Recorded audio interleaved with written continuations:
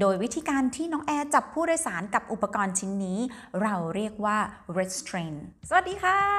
มีใครทราบบ้างไหมคะว่าจริง ๆ แล้วน้องแอร์บนเครื่องบินเขาก็มีบทบู๊กับผู้โดยสารเหมือนกันนะคะ แน่นอนนะคะ เราไม่ได้มีจุดประสงค์หลักเพื่อที่จะบู๊กับผู้โดยสารกว่าจะไปจุดถึงที่บู๊กันเนี่ยน้องแอร์เขาก็ต้องยืดยื้อเวลามาเต็มที่แล้วเช่นกัน จนกระทั่งมาถึงจุดจุดหนึ่งนะคะ ที่เขาคิดว่า เฮ้ยไม่ได้แล้วนะ มันต้องทำอะไรสักอย่างละ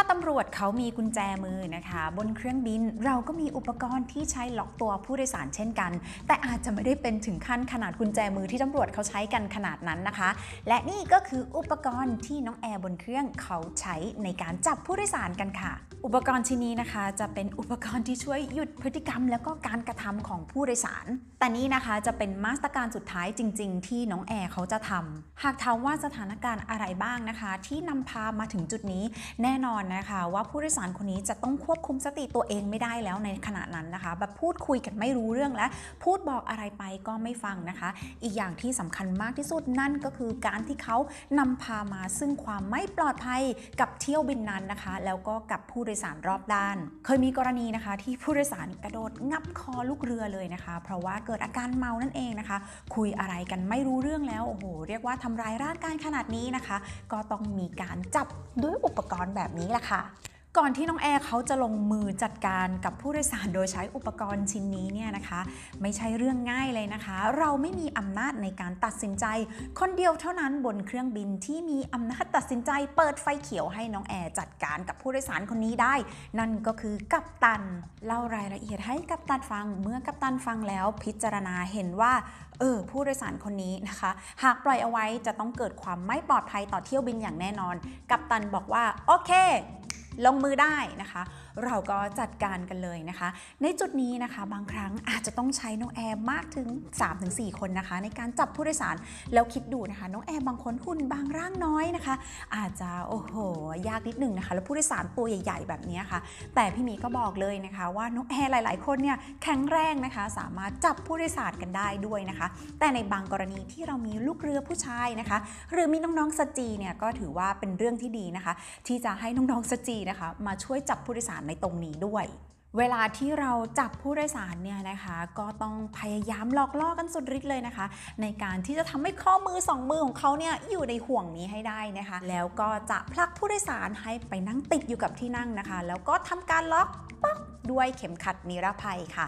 เราก็ย้ายผู้โดยสารที่อยู่รอบๆนะคะ ออกไปให้ห่างไกลจากจุดนี้มากที่สุด แน่นอนนะคะ ว่าเวลาที่เขาโดนล็อกอยู่บนที่นั่งแล้ว เขาจะไม่นั่งเฉยๆนะคะ เขาจะพยายามถีบที่นั่งข้างหน้า เขาจะพยายามทบน้ำลายโอ้โหไปไกลมาก นี่คือเหตุผลนะคะว่าทำไมถึงต้องย้ายผู้โดยสารรอบด้านแถวๆนั้นนะคะ เขาก็จะทำพฤติกรรมแบบนี้นะคะสะบดดาตะโกนออกมานะคะ จนกระทั่งเขาหมดแรงไปนั่นแหละค่ะถึงจะหยุดว่าเมื่อเครื่องลงแล้วก็จะมีตำรวจมารอรับที่หน้าประตูเครื่องบินค่ะ เมื่อเรารัดแล้วนะคะ เราจะไม่ใจอ่อนปล่อยผู้โดยสารเหมือนเดิมอีกแล้วนะคะ ต่อให้เขาขอโทษขอโพยนะคะ มีการยุดนิ่งสงบนิ่งแล้ว แล้วบอกว่าฉันขอโทษจริง ๆ นะ แบบนู้นแบบนี้ คือยังไงเราก็ไม่ปล่อยนะคะ เพราะว่ามีโอกาสที่เขาจะกลับมาเป็นเหมือนเดิมได้อีก แล้วบอกเลยนะคะ ว่าไม่ง่ายที่จะจับคนคนนั้นให้อยู่ในตำแหน่งเดิมแบบนี้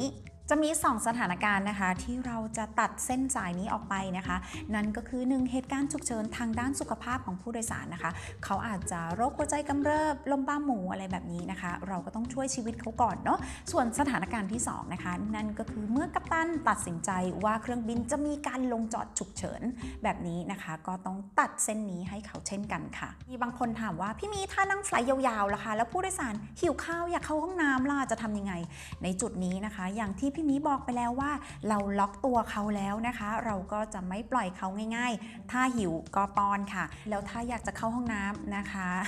อันนี้ก็ปล่อยไปเลยค่ะ บนที่นั่งนะคะ เนื่องจากว่าอย่างที่บอกนะคะว่าเราจะไม่มีการปล่อยผู้โดยสารเด็ดขาดนะคะ เขาอาจจะกลับมาทำร้ายผู้โดยสารคนอื่น แล้วก็ทำร้ายลูกเรือได้ด้วยเช่นกันค่ะ เป็นยังไงบ้างคะสำหรับการจับผู้โดยสารด้วยวิธีนี้ไม่ใช่เรื่องง่ายเลยนะคะ แต่อย่างที่พี่มีบอกนะว่ากว่าจะมาถึงจุดนี้ได้นะคะ จะต้องใช้เวลายืดเยื้อกันมากจริง ๆ การประสบความสำเร็จในการทำไฟล์ไม่ได้หมายถึงว่าเราสามารถจับผู้โดยสารได้นะคะ แต่การประสบความสำเร็จในการทำไฟล์นั่นหมายถึงว่าเราสามารถตัดไฟตั้งแต่ต้นลมนะคะ ไม่ให้เกิดเหตุการณ์นี้ขึ้น แต่อย่างที่บอกนะคะ หากเกิดขึ้นแล้ว แล้วก็สถานการณ์นั้นไม่ปลอดภัยต่อผู้โดยสารรอบด้าน แล้วก็ไม่ปลอดภัยต่อเที่ยวบิน น้องแอร์ก็จำเป็นที่จะต้องใช้วิธีนี้ค่ะ หากผู้โดยสารคนไหนนะคะ ที่ขึ้นเครื่องบินแล้วมีอาการแฮปปี้สุดๆนะคะ กินดื่มอย่างเต็มที่ ดื่มยังไงก็ต้องดื่มแบบมีสติด้วยนะคะ เพราะว่าร้อยทั้งร้อยของผู้โดยสารที่โดนจับมาถึงขั้นนี้เนี่ยนะคะ ส่วนใหญ่แล้วเนี่ยบอกได้เลยว่าเป็นเพราะความเมา บางคนบอกอ้าวพี่มิแล้วทำไมรู้ว่าเขาเมาแล้วยังเสิร์ฟกันอยู่ได้พี่มิจะบอกนะคะว่าผู้โดยสารบางคนเนี่ยไม่ธรรมดานะคะ ซื้อเหล้าขึ้นมาใช่ไหมคะ จาก duty free แล้วก็แอบน้องแอร์ดื่ม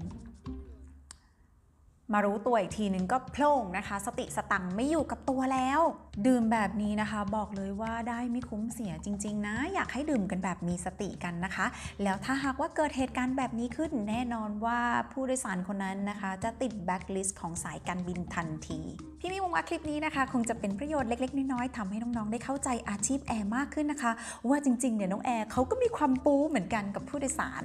วันนี้พี่มิไปก่อนแล้วนะคะ คลิปหน้ามีอะไรดีๆ มาฝากกันอีกอย่าลืมติดตามกันด้วยนะ แล้วก็อย่าลืมกดไลค์ กด subscribe ให้พี่มิด้วยนะคะ บ๊ายบาย